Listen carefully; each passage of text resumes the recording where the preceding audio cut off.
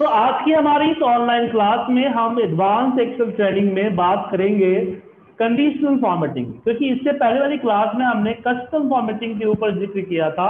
अब custom formatting से हम आ गए हैं कंडीशनल फॉर्मेटिंग में। हम बताएँगे किसी पर्टिकुलर कंडीशन पे कैसे काम किया जाता है। कि अगर एक कंडीशन आपके सामने है तो उस कंडीशन को यूज़ करते हुए आप किस तरह से काम करेंगे, आज हम इस क्लास में आपको समझाने वाले हैं। ओके? हाँ जी। तो चलिए हम बात करते हैं।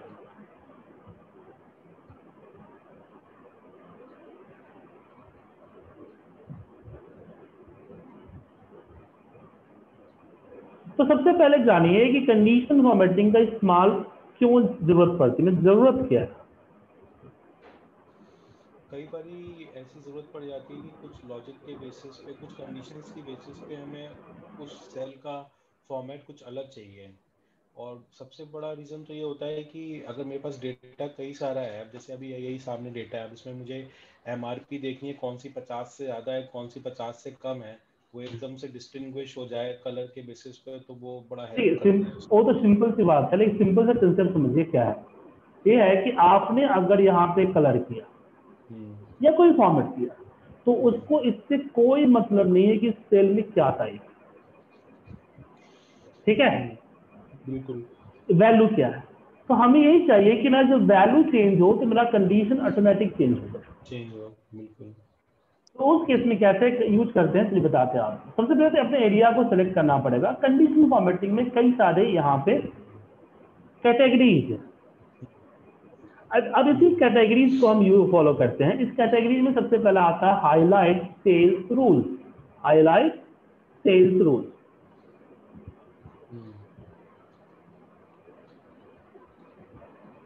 अब इसमें क्या है? हाईलाइट सेल्स रूल में अगर आप जाते हैं तो यहाँ पे आपका आता है greater than less than between equal to text contain date occurring and duplicate value ऐसे यहाँ पे इसके मेथड दिख रहे हैं।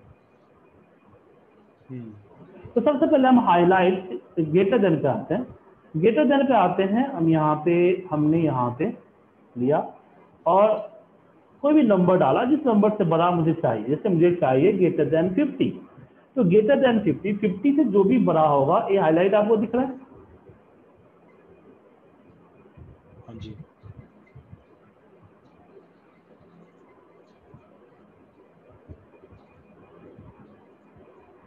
और यहाँ पे कलर जो है डिफ़ॉल्ट है यहाँ से आप अपने कलर चूज़ कर सकते हो।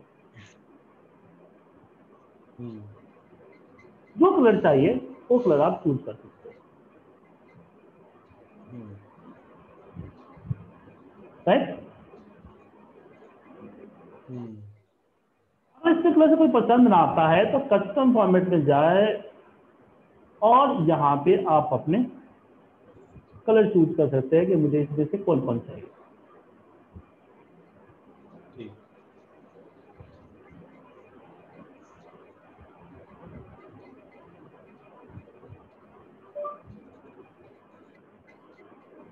अब इसमें से जो कलर है वो चूज़ करके मैंने ओके कर दिया एन ओके कर दिया वो अप्लाई हो जाएगा। तो ऐसे ही यहाँ पे आपके सामने greater than less than and between ठीक है? मतलब कि कोई नंबर से बड़ा, कोई नंबर से छोटा, दो नंबर के बीच में। इसमें नंबर ही नहीं, इसमें आप टाइप कर सकते हैं डेट आप टाइप कर सकते हैं टाइम और आप टाइप कर सकते हैं इसमें डेट एंड टाइम नंबर तीन चीज़ कर सकते हैं। मैं, आप यहाँ पे कोई ऐसा नहीं है गेटर मतलब रवि से बड़ा हो, मोहन से छोटा हो, ऐसा नहीं डाल सकते। क्योंकि लॉजिक जो है हमेशा टेक्स्ट या sorry number and date time पे चलता है टेक्स्ट पे नहीं चलता पर इक्वल टू में आप कोई भी एग्जैक्ट वैल्यू डाल सकते कोई भी एग्जैक्ट वैल्यू जैसे कि मैंने यहाँ पे सिलेक्ट किया और बोला ने बोला इक्वल टू पूजा। जहाँ जहाँ पूजा है, उसको हाईलाइट कर। लेकिन एग्जैक्ट सेल वैल्यू चाहे वो नंबर हो या वो हो टेक्स्ट जैसे मैंने नंबर डाल दिया 88 ऐसा अब इसमें क्वेश्चन अगला आता है कि अगर मान लीजिए जैसे सिटी है हमारे पास तो सिटी में यहाँ दिल्ली है और कहीं पे न्यू दिल्ली है। अब अगर मुझे दिल्ली टाइप करना है अब न्यू दिल्ली और दिल्ली एक ही है। हेलो। हेलो। आवाज़ आ रही सर आपको मेरी? हेलो। हेलो। ब्रेक हो गई बीच में आपने क्या बोला अभी सुनाई नहीं दिया। मैं बोल रहा था कि यहाँ अगर आप इक्वल टू करते हैं तो एग्जैक्ट सेल टाइप होता है ना। जैसे मैंने यहाँ पे न्यू दिल्ली डाल दिया सबसे। तो दिल्ली सिर्फ़ दिल्ली हाईलाइट हो रहा है न्यू दिल्ली आपका हाईलाइट नहीं हो रहा। नहीं आ रहा सर न्यू दिल्ली हाईलाइट हाँ ठीक है। लेकिन इसी में अगर दिल्ली डाला है इसी तो में हाँ हाँ इसी में न्यू दिल्ली दिल्ली कर दूँगा तो न्यू दिल्ली न्यू दिल्ली करूँगा तो दिल्ली हाईलाइट नहीं होगा। तो उस केस में हमारे पास होता है text that contain text that contain में क्या होता है कि आप जो है जैसे मैं दिल्ली डाला तो दिल्ली सिर्फ़ हो या किसी के साथ हो आगे हो पीछे हो या बीच में हो ये उसको हाईलाइट कर दिल्ली वर्ड उसमें होना चाहिए जैसे कंट्रोल एफ़ में फाइंड करते हैं ना उसी मेथड से काम करता है। ठीक। है? तो डेट ऑफरिंग इस पे टेक्स्ट और कंटेंट के बाद आता है डेट ऑफरिंग जैसे मैं यहाँ पे सिस्टम डेट डालता हूँ मान लीजिए कि अक्टूबर का ही डेट डाल दिया। अब इसमें अगर आप ग्रेटर देन जैसे मान लीजिए ग्रेटर देन हमने बोला 10 अक्टूबर तो 10 अक्टूबर से की जो डेट है वो हाईलाइट हो जाती है लेकिन ये फिक्स होगा। या मान लीजिए कि मैं बोलता हूँ आज की डेट मुझे हाईलाइट करनी है तो इक्वल टू में मैंने यहाँ पे दे दिया। आज के हाईलाइट हो गए बट ये फिक्स हो गया ना सर हर दिन जो है, वो आठ अक्टूबर ही हाईलाइटेड होगा। लेकिन मैं चाहता हूँ कि ये हाईलाइटेड हो जाए करेंट सिस्टम डेट मतलब कि हर दिन चेंज होता है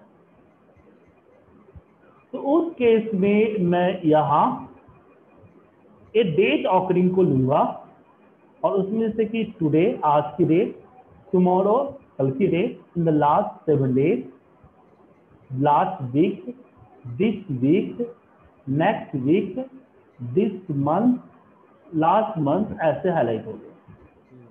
हो गया सर?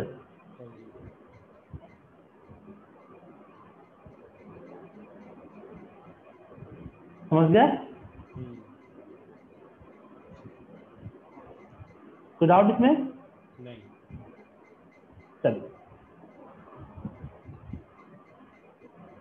तो इसको हाईलाइट कर डेट ऑफ़ अब आता है डुप्लीकेट वैल्यू अगर आप चाहते हैं कि आपके आप देखना चाहते हैं कि सिलेक्टेड में या सिलेक्टेड कॉलम या सेल जो भी आपने सेलेक्ट किया है उसमें कोई ऐसा number more than one time तो नहीं है. या यूनिक कर दे तो यूनिक तो नहीं है. वो हाईलाइट कर सकते हैं. बाकी फॉर्मेटिंग तो आप यहाँ से चेंज कर ही सकते हैं. सब में सेम है सर इसे मैं बताया नहीं आपको. अब बात करते हैं टॉप बॉटम की. जैसे कि यहाँ पे हमने टॉप टेन कर दिया तो ये जो इसके पोजीशन के हिसाब से टॉपर नंबर होंगे तो टॉप फिफ्टी हो गया। तो जो हाईएस्ट टॉपर फिफ्टी है, वो हाईलाइट कर देगा उसके वैल्यू के अकॉर्डिंग ना नॉट पोजीशन के अकॉर्डिंग सबसे बड़ा जो हंड्रेड को हुआ टॉप टेन में हंड्रेड से लेकर नब्बे तक हो जाएगा हाईलाइट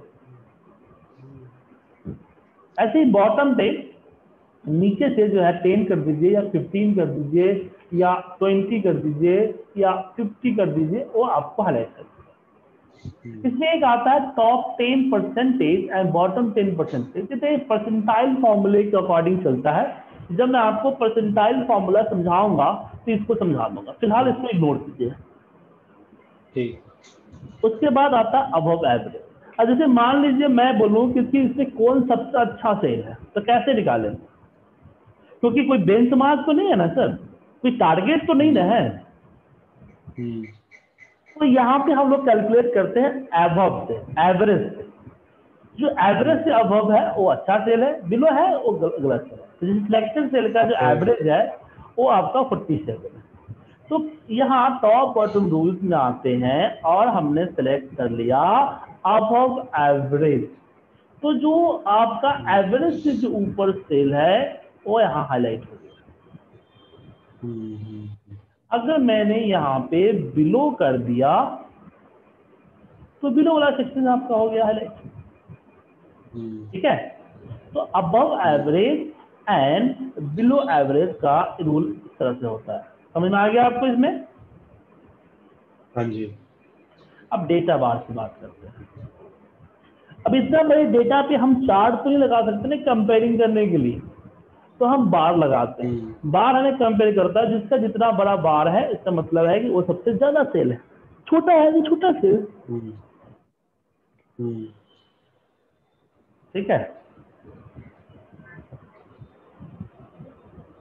ओके बाकी कलर और डिज़ाइन है। ठीक। बाकी कलर डिज़ाइन अगर मैं इसको अलग सेल पे समझाऊं तो आप शायद बेटर समझ पाए। जैसे कि one two three four five six seven eight nine ten. हमने इसको सेलेक्ट किया।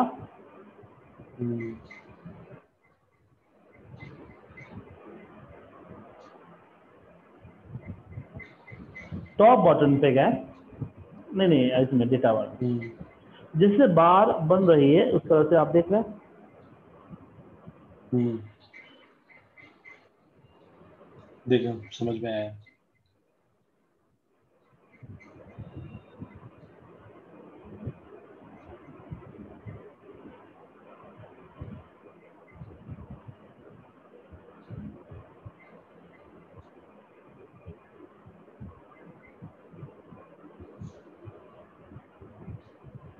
क्रिकेट में ज़्यादा यूज़ होता है। या। उसके बाद ऐसी कलर स्केल है। आप हम्म।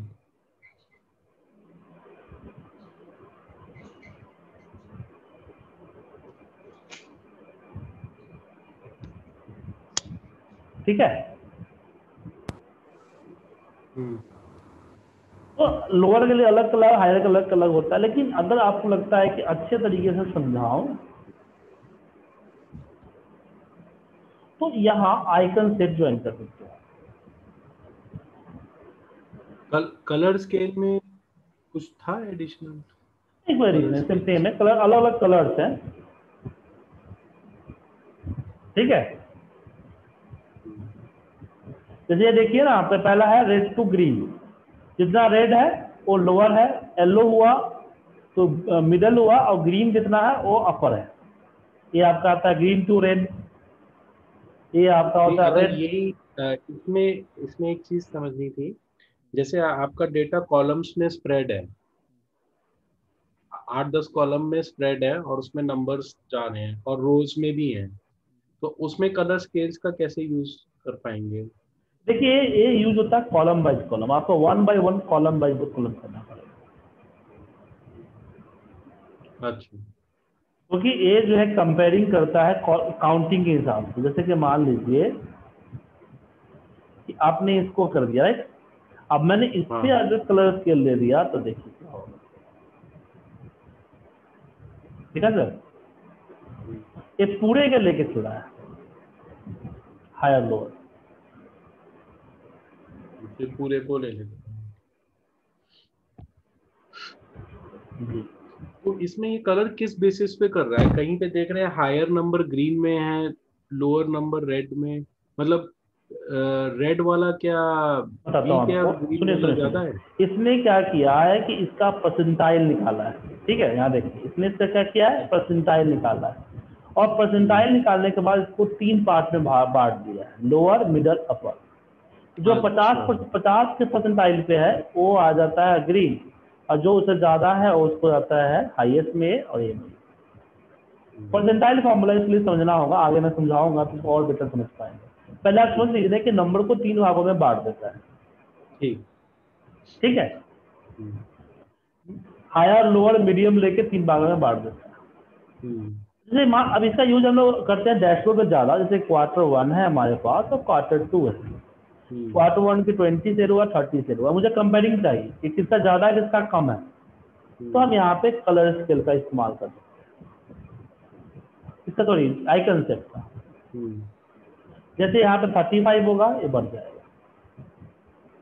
लेकिन इसका यूज़ हम डेटा पे नहीं। इसका यूज़ हम लोग करते हैं कल इस पे क्या बोलते हैं? डैशबोर्ड पे।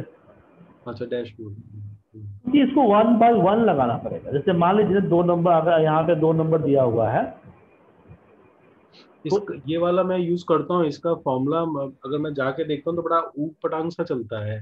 उसकी रेफरेंसिंग ये थोड़ी समझ में नहीं आती कहाँ से रेफरेंसिंग ले लेता है ये। जैसे मैं यही क्वार्टर वाली मैं रिपोर्ट बनाता हूँ तीन क्वार्टर की तो मुझे उसमें रेफरेंसिंग लगानी रहती है आइकन्स का कि उसके कंपेयर पिछले साल के कंपैरिजन इस क्वार्टर में क्या परफॉर्मेंस अगर आप इसको पूरा को सेलेक्ट करके मैं इसको कॉपी पेस्ट करता हूँ।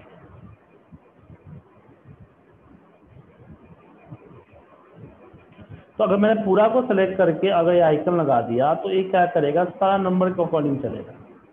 देख रहा है सेवेंटी सेवेंटी सिक्स आपस में दिख रहा है। तो ये, ये दोनों कॉलम को कंपेयर नहीं कर रहा है वो ओवरऑल डेटा को कंपेयर करके तीन भागों में बांट देता है। हाँ हाँ। लेकिन आपको अगर ऐसा करना है तो उसको वन बाय वन करना वन बाय वन करना पड़ेगा। और उसको अगर पेस्ट स्पेशल भी करो तो भी रेफरेंसिंग लॉक होके वो उसी का रेफरेंस ले लेता है पहले जी। हाँ फिर वो जाके फॉर्मूला सही करना पड़ता है। हम्म। हाँ ये ये यही चीज़ समझनी थी ये कैसे रीड कैसे करता है जो अभी आपने ये आपका इसने फॉर्मूला रीड कर रहा है ना E2 से F2 कर दिया इसने। तो मैंने अगर E2 का भी हटा दिया डॉलर साइन एंड F2 का भी डॉलर साइन हटा दिया। एक्सेप्ट नहीं करता। एंड अप्लाई करता। नहीं नहीं करता अपना एक्सेप्ट कर लेता है। ठीक है? वन बाई वन ही करना पड़ेगा इसके लिए या फिर बीजी इस्तेमाल करना पड़ेगा। तो कंडीशनल फॉर्मेटिंग में जो भी मोस्ट यूजेस कमांड था वो मैंने आपको समझा दिया। लेकिन उसके बाद भी इसमें आता है जैसे मोर रूल न्यू रूल तो इसके अलावा और भी कमांड है जैसे कि यहाँ पे ग्रेटर देन है but greater than equal to तो नहीं है सर क्या? हाँ ग्रेटर देन है। ग्रेटर देन है बट इक्वल टू तो नहीं है ना? नहीं। तो greater than and equal to का इस्तेमाल हम इस तरह से कर सकते हैं। अपना न्यू रूल बना के कर देंगे। नहीं मोर रूल्स में आता है सारा। नहीं। यहाँ ग्रेटर देन इक्वल टू और भी बहुत सारे कंडीशन हैं। इन कंडीशन के बारे में हम कल आपके साथ बात करेंगे। उससे पहले आप इस सबको देख लीजिए ठीक है? इसकी बेसिक कंसेप्ट जैसे जानते हैं कि मैं पहले बेसिक सिखाता हूँ देन एडवांस तो आज मैंने इसकी बेसिक कंसेप्ट समझा दी है। कल हम इस पर एडवांस पे बात करेंगे। ठीक। है? तो प्रैक्टिस करते समय कोई डाउट होगा तो कॉल करके पूछ लीजिएगा। ओके ठीक है? और हम फिर कल आपको कुछ रिकॉर्डिंग भी देंगे जिसको आपको यूज़ करना है और यूज़ करके देखना है पीबट से ठीक। आपके पास कुछ एक्सरसाइज वगैरह भी अगर कुछ बनाई है या कुछ प्रोजेक्ट टाइप का हो तो दीजिए तो मैं प्रैक्टिस की जाए मैं दूँगा मैं आपको। अभी जैसे टॉपिक खत्म हो जाएगा ना उसके बाद दूँगा। ठीक ठीक चलो। तो मैं वो सैटरडे संडे में ही कर पाऊँगा थोड़ा ऑफ़िस का सैटरडे संडे तो आपको पीवट का रिकॉर्डिंग देखना है ठीक है ओके।